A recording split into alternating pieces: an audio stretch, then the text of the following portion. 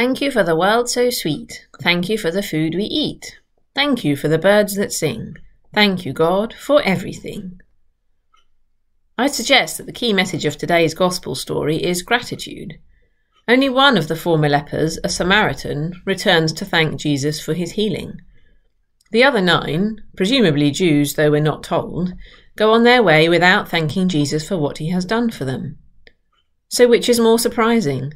That one person came back, shouted for joy, and fell down at Jesus' feet, or that nine didn't? Luke doesn't imply that the nine are any less healed, simply that they were less grateful. Only the outsider, the foreign and hated Samaritan, gives God the glory, and that one returning leper shows up God's own nation, whose very name reminded them to praise God, Judah in Hebrew meaning praise. It is not only the nine ex lepers who are disgraced, it is all of us when we fail to thank God at all times and for everything, as St. Paul puts it in his letter to the Ephesians. A key tenet in all religions, the Roman lawyer Cicero described gratitude as the mother of all virtues, and other ancient philosophers saw gratitude as the essential underpinning of a functioning civilization. Studies have shown that the frequent practice of gratitude can improve sleep and the immune system, lower inflammation, release the bliss chemicals serotonin and dopamine, increase longevity, manage feelings of grief, jealousy, and depression, and result in a more agreeable personality, better friendships, increased morality, and closer social bonds. In children, gratitude can equate to higher academic performance. And a study published in 2019 th- found that by the age of five, gratitude correlates to happiness in children. So maybe our parents were right when they always demanded, And what do you say? when we were young. Gratitude is a virtue that shapes our emotions, thoughts, and actions. It can make us happier and wiser Christians and better human beings. We have so much to be grateful for, for every blessing we have received, the gift of talent or health or home or a kind spirit, for the good news of the love of God in Jesus Christ. When we come to worship, the very word Eucharist, you probably know, means thanksgiving. Nurturing gratitude can make us more likely to spot God at work in the ordinary experiences of our lives. Give thanks to God for material goodness, as simple as the meal in front of us or the garden outside, for beauty seen in the changing of the seasons.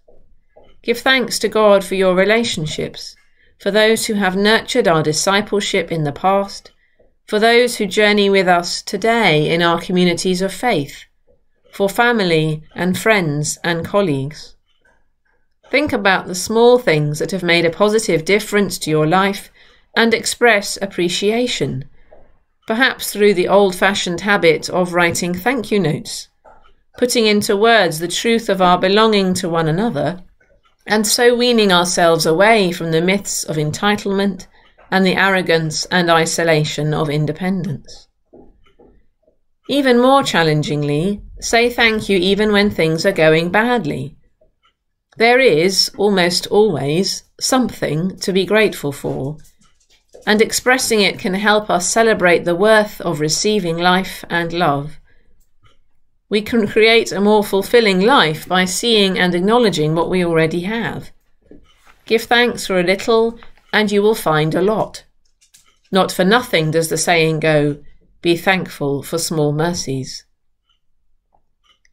We have all experienced the problem of expressing gratitude when we don't really feel it, back to being a child again, or hearing it grudgingly given. But those same studies I mentioned earlier in this sermon also suggest that although gratitude comes more naturally to some than to others, it is a habit that can be learned if we make a determined effort to practice it, and the positive effects will be the same. Perhaps, therefore, we should revive that old spiritual discipline of listing one's blessings, naming them before God, and giving thanks. It's a healthy thing to do, especially in a world where we too often assume that we have an absolute right to health, happiness, and every possible material comfort. Furthermore, we live generously when we express our gratitude.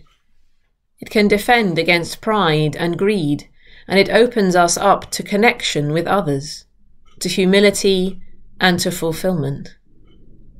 Gratitude makes us more likely to want to share what we have with others out of pure gift, not in order that they might thank us in return. Whatever good things we have been given, God gave us those blessings in order that we might use them to bless others. This time of year, when we celebrate harvest, this is even more in our minds than usual and gratitude might even save the planet when we realize how fortunate we are to have been given a beautiful and bountiful earth, we might be more thankful for it, and so save it from destruction. God has given us a gift of 86,400 seconds today. Will we use even just a handful of them to say thank you? You may know the beautiful general thanksgiving from the Book of Common Prayer, which says all this far more eloquently than I ever could, and so I finish with that. May it be on our lips and in our hearts, both today and every day. Almighty God, Father of all mercies, we thine unworthy servants do give thee most humble and hearty thanks for all thy goodness and loving kindness to us and to all men. We bless thee for our creation, preservation, and all the blessings of this life, but above all for thine inestimable love in the redemption of the world by our Lord Jesus Christ, for the means of grace, and for the hope of glory.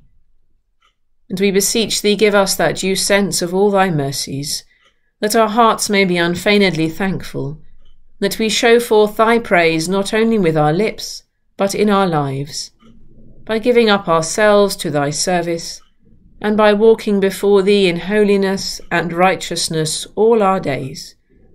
Through Jesus Christ our Lord. Amen.